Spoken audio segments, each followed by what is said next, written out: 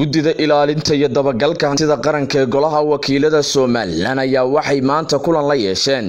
Guddoomiyaha hay'adda aafooyinka iyo kaydka raashinka qaranka somalilan mudane faysal cali sheekh kulankaasi kadib waxaa warbaahinta la hadlay.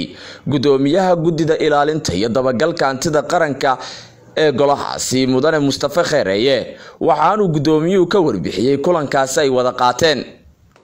Waxaan uga mahadnaqaynaa wakhtiga dheere ay sugayeen gunaanadka kulankan aan waxaa weeye xafiiska ku lahayn. Waxaa halkan marti noogu ahaa maanta laba kulan kulankii hore bangiga dhexe iyo mas'uuliyiintiisa. Xildhibaanadii iiga horreeyey baa ka warbixiyey kulankii hore waydun qaadateen. Hadda kulankan ugu dambeeyey oo xilliga aanu ku gaadhnay laba saacadood iyo dheeraad aanu fadhinay waxaanu lahayn hay'adda aafooyinka iyo kaydka raashinka qaranka oo mas'uuliyiinteedii guddoomiyaheedii guddoomiye ku-xigeenkii iyo madaxdii waxaa weye ugu muhiimsanayd hay'adda ay noo imaadeen. Waa kulankii labaad ee aanu hay'ad ahaan yeelano iyo iyo waxaa weeye gol ahaan ama guddi ahaan. Markii hore waxaan ugu tagnay xafiiskooda.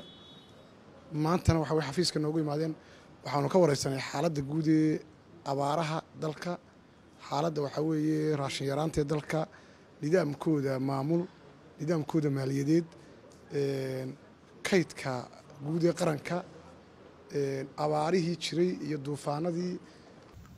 Geesta kalena waxaa halkaasi ka hadlay guddoomiyaha hay'adda aafooyinka iyo kaydka raashinka qaranka somalilan mudane faysal cali sheekh oo golahaasi ugaga warbixiyey howlaha shaqo ee ay hay'addaasi qabato. Waxaanuu yidhi dhammaan waxaan halkan ku salaamayaa guddida dabagalka hantida qaranka ee golaha wakiilada guddoomiyihii iyo xubnihii kale iyo mas'uuliyiinta hay'adda narford guddoomiye ku-xigeenkii iyo agaasimayaashii. Runtii maanta waxaa noo yeedhay guddiga inaanu bal xog ka siino xaaladda hay'adda siday u shaqayso waxa u qabsoomay waxa qabyada ah iyo waxa halka ay mustaqbalka hiigsanayso iyo guud ahaanba xaaladda dalku halka ay marayso. Warbixin ballaadhan baanu runtii ka siinay iyaguna wixii su'aala ay hayeen oo dhan. Runtii wayna weydiiyeen waanunu uga jawaabnay. Aada iyo aad baanu runtii guddida guddoomiyaha iyo guddidaba runtii ugu mahadnaqaynaa.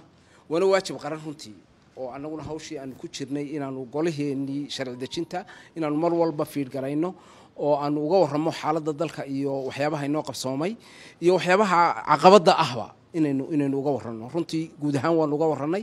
Waxaan uga warrannay inay xaalad abaareed oo ba'ani ay dalkeenna runtii ay ka jirto oo saddex mawsim ama saddex waqti siisan oo aynu roob heli jirnay ummadda noloshoodina ay ku xidhnayd aynaan helin ama ay aada u yaraayeen.